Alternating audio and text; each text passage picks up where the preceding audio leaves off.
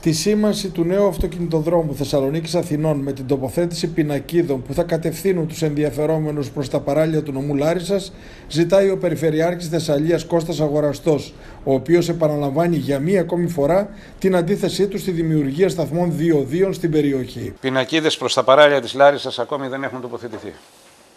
Ή έχει τοποθετηθεί μία που λέει παράλια Λάρισας. Το παράλια Λάρισας, νομού Λάρισας δεν λέει τίποτα.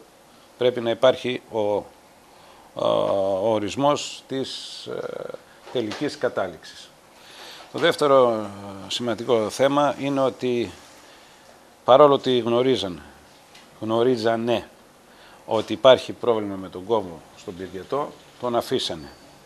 Τον αφήσανε και χρονίζει. Και ο συνήθως ότι το αφήνεις χρονίζει και δεν λύνεται ποτέ μεταφέροντας στο μέλλον.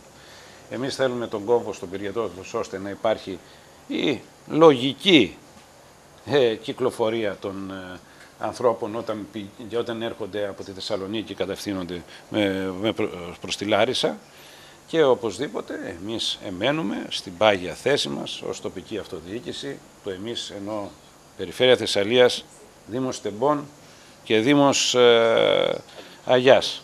Τους άλλους τους περιμένουμε να δηλώσουν υπεύθυνα αν τα θέλουν ή όχι τα διόδια. Εμείς είπαμε όχι στα διόδια και περιμένουμε γιατί ανοίξαμε το δρόμο και περιμένουμε και τις άλλες τοπικές αυτοδιοικήσεις υπεύθυνα και μπροστά να μας πούνε τι ζητάνε.